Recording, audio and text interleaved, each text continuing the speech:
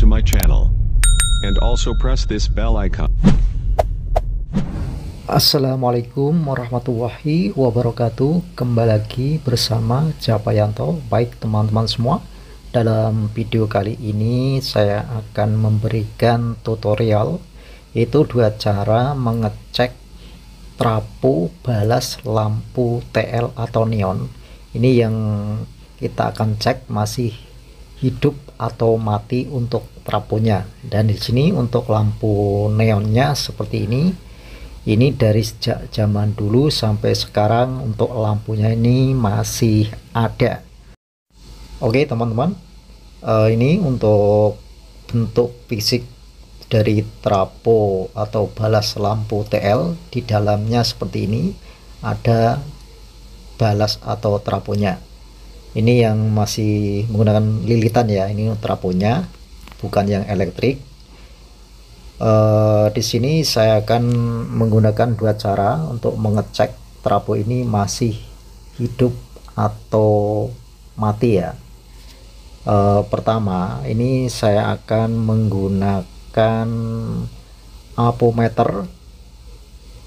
Bisa dengan digital maupun manual. Dan sini saya menggunakan tang ampere sama aja untuk apometernya dan di sini saya pilih yang di skala Beser ya. Saya sering gunakan di skala Beser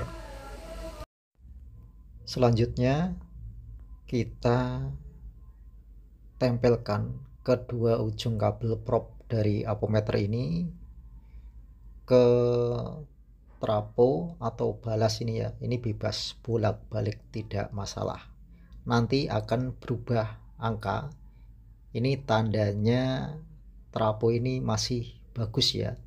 Jadi untuk lilitannya ini terhubung tidak putus. Artinya tidak masalah. Jadi trapo ini masih bagus. Kalau pakai manual ini jarumnya akan bergerak. Jadi lilitannya ini masih terhubung. Ini bolak-balik tidak masalah untuk propnya ini ya. Tidak masalah untuk bolak-balik eh, kita tempelkan. Nah ini akan berubah angka.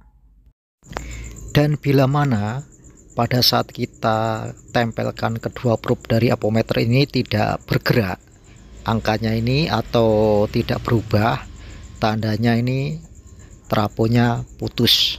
Ya. Uh, ini cara yang pertama. Lalu cara yang kedua kita siapkan ya kabel colokan secukupnya yang pendek saja ya seperti ini. Lalu untuk ujungnya yang kabel ini kita pilih salah satu dan uh, satunya lagi kita isolasi supaya nanti kita tidak setrum atau aman ya. Lalu ujungnya yang tidak kita isolasi ini kita pasang ke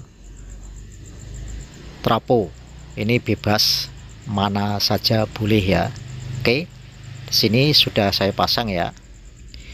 Dan yang satu ini langsung kita pasang ke trapo atau balas. Yang satunya yang kita isolasi dan ujungnya ini kita colok ke stop kontak ya. Yang stop kontak yang aktif ya. Ini kita colok seperti ini. Oke sudah kita masukkan ke stop kontak. Lalu kita siapkan lagi tes pen ya. Kita cek dulu yang jalur dari strom. Oke ada stromnya. Lalu kita ini kan jalur yang dari kabel ya langsung strom lalu kita cek yang sebelahnya. Ya, lagi ya misal ada strom berarti ini traponya masih bagus lagi. Bila mana sudah ada strom dari jalur kabel lalu untuk sebelahnya ini mati tandanya trapo ini rusak atau putus. Ini seperti ini ya teman-teman cara yang termudah dua cara untuk mengecek trapo balas lampu PL.